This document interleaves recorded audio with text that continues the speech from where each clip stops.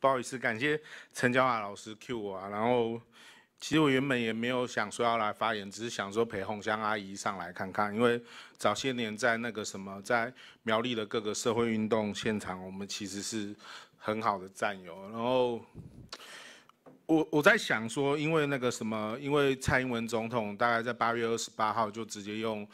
行政命令，然后七天就通过这一个美美瘦肉精美猪的事情，然后他让他让我这几天，我其实从他通过的时候到这几天的时候，我们一直都不断的在重复着去回想我们民主前辈为我们做过的事情，包含像像我我想要跟大家分享的，其实是那个因为郑南龙自焚，然后所以他跟着郑南龙一起自焚的詹义化，他有讲过说，他们。当他们每次民同志见面的时候，有没有少不了一定要骂万恶的国民党，然后骂骂得起劲的时候，大家就这样直接过了一一个晚上。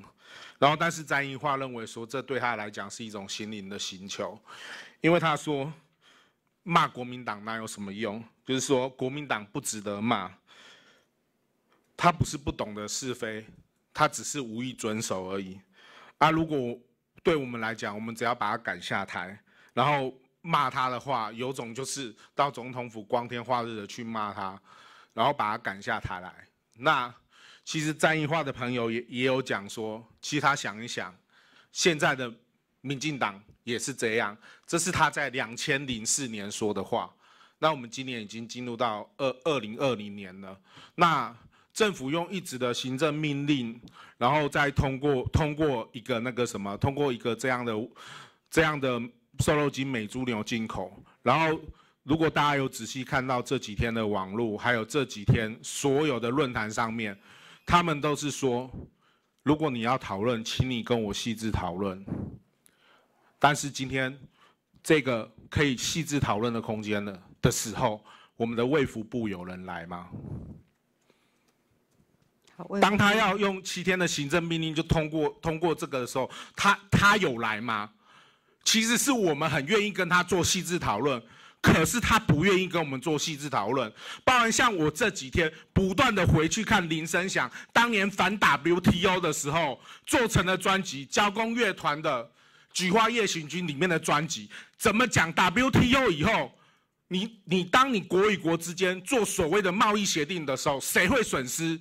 谁会受到补偿？谁到最后最后最弱势者的下场是怎么样？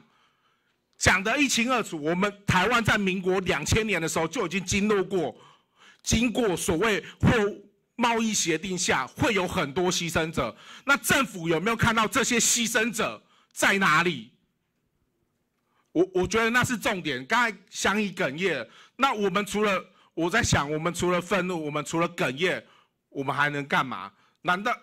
我我我可以跟大家讲，我是很想冲政府啦啊！如果有想要冲政府的，可以联络我啦。我我是真的觉得，这种政府把他赶下台就好了。你跟他讲道理，讲再再多道理，他也不听你讲道理啊。